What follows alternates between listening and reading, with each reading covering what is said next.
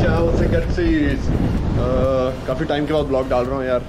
अभी चाइना से हम निकल चुके हैं and going on the way to US non specific crossing the ideal international red line first time मैं भी पास कर रहा हूँ ये। ये इंटरेस्टिंग होगा because will be twenty four hours day back retard हो जाएगा डे एंड uh, अभी यार काफ़ी बंदे के क्वेश्चन आए थे कि पूछ रहे थे कि मर्चेंट नेवी में कैसे आते हैं? How to join merchant navy ship पे ट्रैवलिंग का क्या सीन होता है? कैसे ट्रैवलिंग को मिलता है कि नहीं? एंड शिप पे बोर तो नहीं होते। बहुत बंदे पूछते शिप पे बोर तो नहीं थे यार talking about the boring part ship पे बोर होना यार कोई जा सकते एक्चुअली ऑक्यूपाइड शेड्यूल होता है और अगर वैसे भी आप टैंकर्स वगैरह पे रहो तो उसमें तो वैसे भी थोड़ा पैक्टिक शेड्यूल रहता है। अगर कंटेनर्स पे जो कोस्टल कर रहे हैं, थोड़े से उसको हेक्टिक रहता है, थोड़े शेड्यूल बट नॉर्मली ऑक्यूपाइड रहते हैं। और उसके अलावा जब आपका फ्री टाइम है थोड़ी रिक्रिएशनल एक्टिविटीज़ करनी है तो हम ये टेबल टेनिस खेल लेते हैं।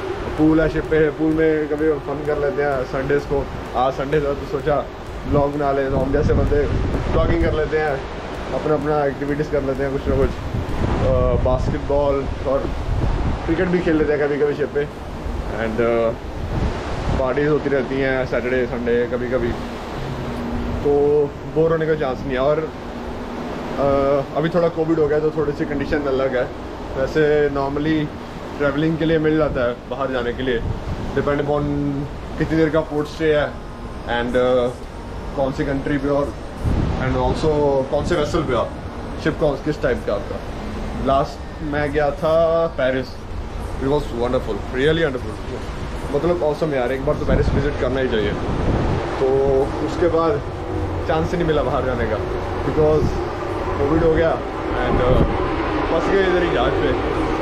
तो यू नो ठीक है, अभी थोड़ा सा कंडीशन अच्छा है यूरोप एंड यूएस साइड में बाहर जाने को मिल जाता है। तो अभी यू आई जाएँगे तो वैसे ही साइन अप हो जाएगा फाइनली घर जाएँगे यार। कोविड के कारण थोड़ा सा डिले हो गया था। क्योंकि मैंने अपना लास्ट वीडियो डाला था डे ऑफ़ एडिट सी उसमें दिखाया था कि मेरा दिन नॉर्मली कैसे जाता है, एक नॉर्मल डेक्कन का दिन कैसे जाता है। अब अपनी ट्रेनिंग भी पूरी होगी, घर जाके एग्ज़ाम देंगे और क्वेश्चन के लिए देखेंगे। और ऐसी बंदे यार पूछते हैं कि तुम्हारा शिप कितना लंबा होता है, कितना बड़ा होता है। तो एक छोटा सा टाइम लेव बनाया बनाते हैं। बताते हैं मेरा आपको। ठीक है?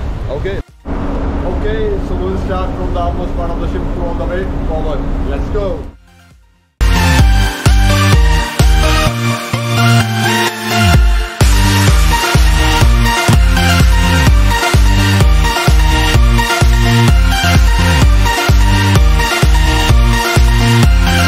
आगे हम मिड ऑफ़ द शिप तो move forward.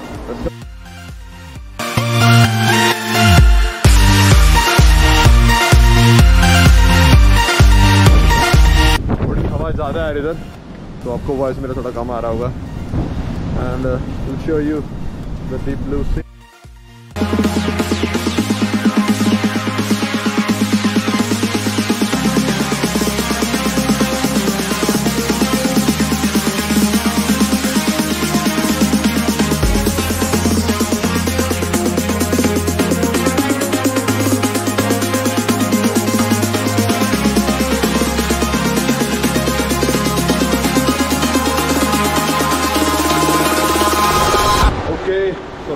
time हो गया वापस कैबिन में जाने का because I have to go to the watch and I hope आपको वीडियो अच्छा लगा होगा। अच्छा लगा तो शेयर एंड लाइक करना अपने फ्रेंड्स के साथ। एंड uh, अभी नेक्स्ट वीडियो बनाएगा इसके बाद how to join watch and navy and all things to do कैसे क्या होता है। तो आज के लिए इतना यार। सी या टेक केयर बाय